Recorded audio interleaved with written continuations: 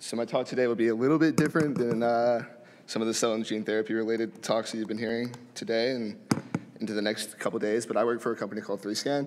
Uh, we're a computational pathology company based in San Francisco. Uh, we work with partners and both on the tissue engineering space as well as academic medical centers and um, organoid design companies. Uh, we have a robotic microscopy platform that sections and images tissue blocks simultaneously. So we get really high resolution, micron scale, cell body staining resolution uh, through whole, whole depths of tissue blocks. Uh, so what you see here is a prototype of our digital lung that was kind of derived from uh, some of the imagery that we took uh, using our KESM, the knife edge scanning microscope. Uh, so what you see here is uh, the first digital lung spanning the first two airway generations. kind of important because it's informed by anatomic and, and microscopic data from an actual human lung. Um, but more importantly, it's, it's continually updated and customized to address interpatient variability of both along longitudinal pathways as well as interpatient variability and heterogeneity associated with uh, normal and diseased lungs.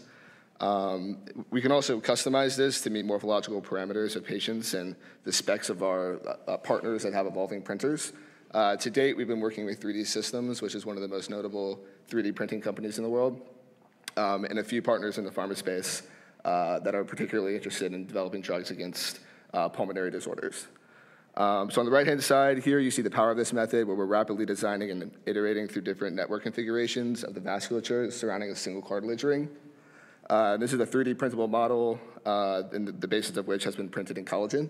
So our partners print these structures in, into collagen scaffolds that can then be cellularized by either their partners or uh, another third party. Um, moving on.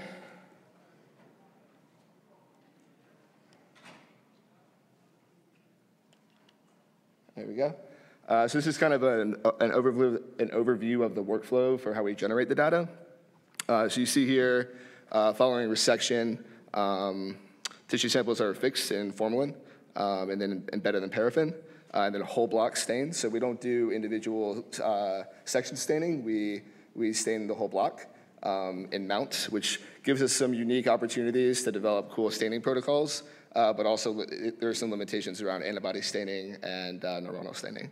But we have developed protocols for H&E structure staining, as well as some, uh, some neuronal stains. Uh, so once the whole block is embedded, we then digitize it with our knife edge scanning microscope, which is an ultramicrotome blade that, uh, that takes the block and sections and images simultaneously uh, pulling a ton of data off the scopes, so talking on the order of a couple terabytes per block. In contrast to traditional digital pathology, which is just a whole slide scanner, uh, taking an image of a single glass slide, a section on a single glass slide, we are completely glassless, uh, so that kind of reduces the, the need for uh, the histo preparation in that step. And then post imaging is where I get to have a lot of fun and play on the 3D uh, reconstruction and image analysis side. So a lot of cool opportunities, but specifically today we'll be focused on uh, the work that we've done in regenerative medicine and the work that we will continue to be doing in the, the space of organoid design and development. Um, so following digitization, uh, it is run through, the, the, raw data is taken, uh, image is processed analyzed, cleaned, uh, turned into a mask, uh, which is converted into a contour or a quadratic Bezier curve, I'm a mathematician. I work with a bunch of pathologists, which is a really fun collaboration and pretty rare in this space. Uh, so I get to develop some really interesting methods to go from imagery to Bezier curves to SVGs, and then eventually contour data, which is refined into a 3D mesh and exported as a printable file. Um, so this is just a demonstration of the vast scale of, of the of the sizes uh, that, that the lung has spanned. So traditionally, people that have been doing bioprinting for lungs have used silicone casts, uh, which gives very few details about uh, sub 100 micron level resolution. Uh, so the vessels and the airways, basically. Uh, so structurally, it's pretty clear, but uh, getting the resolution that we can provide is, is pretty rare and a unique opportunity for us. moving forward, um, so on the top left here, we have the trachea, which is generation zero uh, which is with an average luminal diameter of around 18 millimeters. And then right around the 14th generation, we have the transitional, transitional bronchioles, including the terminal bronchioles, which signals the beginning of the respiratory zone. Uh, and at the terminal ends of the airways, we have the diameter sac, the alveolar sacs, alveoli, with an average diameter of two to 300 microns. So that's kind of where we're operating and where our value proposition is in this space, is focusing on that sub, you know, 500 micron, uh, you know, structures that are difficult to pick up with uh, CT, MRI, or silicon casts. Um, moving forward. Uh, this is just kind of an overview of how we do our anatomic projection mapping. So this is a raw image stack. This is not our imagery. This is from the Visible Human Project that's supported by the NIH. However, we were able to apply our methods and demonstrate extensibility across a variety of different imaging modalities. Uh, so you can see here that uh, from a bird's eye view, we take a series of axial anatomic images that are stitched together and used for annotation. Uh, segmented features can be overlaid on the slides. Um, as we see here. And then from there, uh, on the left, you can see the bronchial tree uh, from the trachea down to the segmental bronchi. Uh, in the middle, you see the pulmonary veins and arteries. And then on the right here, uh, we can see the entire pulmonary vasculature and respiratory system reconstructed into one single model, which, there we go. Uh, so that's a work product that was delivered from this open source NIH Visible Human project dataset, uh, but it's representative of some of the work that we've done with our proprietary um, imaging system, which is a knife edge scanning microscope. Um, moving on. So we, we realized, and you know, being a mathematician, I thought, uh, and you know, my colleagues were thinking, do we need to go directly from imaging to model, or can we use mathematics to just model this in silico uh, to make the process a little bit more customizable, uh, reproducible, and uh, continuous, more so than having to take individual images. And we want to maintain patient specificity, but we also want to be able to address uh, interpatient variability and develop models that can be used as a platform uh, rather than just for individual models from, from a given patient. Uh, so we kind of started moving forward. Um, we generated a microscale map of the lung, and as we utilize the following process, we begin with a series of KESM-derived microscopic images that are stitched together and used for annotation. Uh, the, the board-certified pathologist that I get to work with uh, goes through and takes a pen at the pathologist of the future station and annotates and marks up the vessels and airways. Uh, we use computer vision to segment features and convert that into a 3D mesh. Um, and once that is converted into a 3D mesh, uh, we get the opportunity to look at, um, on the left, we have a 3D model of a portion of the trachea, including the trachealis muscle, cartilage ring, and bronchial wall. Um, in the middle here, we have a portion of the trachea uh, combined with, with, splines from our larger anatomic model. So this is an, example of some of the generative model that we're generative modeling that we're doing, which is a hybrid model of imagery as well as generative design informed by the anatomical atlases that we have at our disposal. And then finally on the right here, you see an amalgam model, which combines our microscopic data with the anatomic data, uh, this being the word products uh, and representation of the, uh, the vasculature and the airways from generation zero to through two.